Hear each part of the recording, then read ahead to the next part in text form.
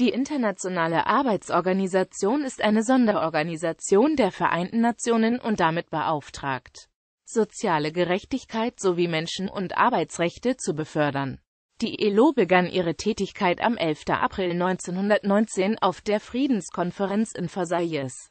Sie war ursprünglich eine ständige Einrichtung des Völkerbundes mit dem Ziel der Sicherung des Weltfriedens auf der Grundlage sozialer Gerechtigkeit. Entstanden war sie aus einer Forderung der sozialdemokratischen Amsterdamer Gewerkschaftsinternationale. Seit dem 14. Dezember 1946, als sie ihren Sitz in Genf einnahm, ist die ILO eine UN-Sonderorganisation und damit die erste Einrichtung dieser Art.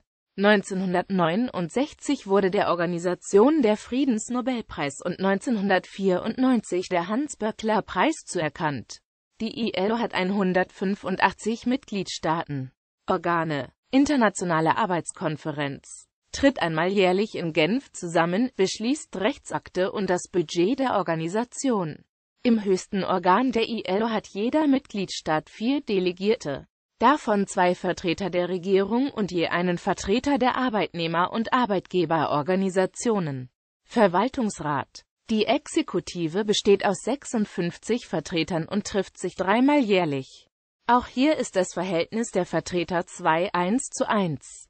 Zehn der 28 Regierungssitze werden permanent durch zehn Staaten großer industrieller Bedeutung gehalten. Die restlichen 18 werden alle drei Jahre gewählt. Die Vertreter aus Arbeitnehmer- und Arbeitgeberorganisationen werden persönlich gewählt.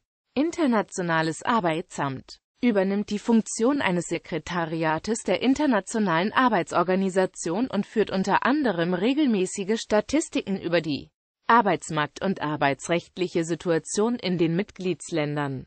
Generaldirektoren Generaldirektoren der ILO waren seit 1919 zu 1919-1932 Albert Thomas, 1932 bis 1939 Harold B.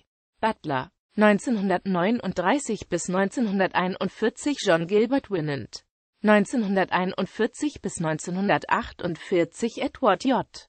Phelan 1948 bis 1970 David A. Morse, 1970 bis 1973 Wilfried Jenks, 1974 bis 1989 Francis Blanchard, 1989 bis 1999 Michael Hansene, 1999 bis 2012 Juan Somavia, seit 2012 Guy Ryder. Arbeitsweise die ILO ist damit beauftragt, internationale Arbeitsstandards weiterzuentwickeln. Dazu arbeitet sie rechtsverbindliche Übereinkommen sowie Empfehlungen an die Mitgliedstaaten aus. Davon werden verschiedene Gebiete des Arbeitsrechts betroffen. Standards für den Mutterschutz, Schutz von temporären Angestellten, Altersgrenzen für bestimmte Arbeiten etc. Insgesamt existieren bis heute 188 Übereinkommen und 198 Empfehlungen. Übereinkommen begründen nach Ratifizierung durch die hierfür zuständigen Stellen eines Mitgliedstaates rechtliche Verpflichtungen, wohingegen Empfehlungen lediglich Orientierungshilfen für die Politik geben sollen. Mitglieder müssen der ILO über die Umsetzung der von ihnen ratifizierten Übereinkommen sowie über den Stand ihrer nationalen Gesetzgebung in Bezug auf das Arbeitsrecht und den Arbeitsschutz regelmäßig Bericht erstatten. Siehe auch Dreigliedrige Grundsatzerklärung über multinationale Unternehmen und Sozialpolitik. Kernarbeitsnorm ISCO 88 die von der Internationalen Arbeitsorganisation herausgegebene Berufsklassifikation. UN Global Compact. North American Agreement on Labor Cooperation. Verwaltungsgericht der Internationalen Arbeitsorganisation ILO-Klassifikation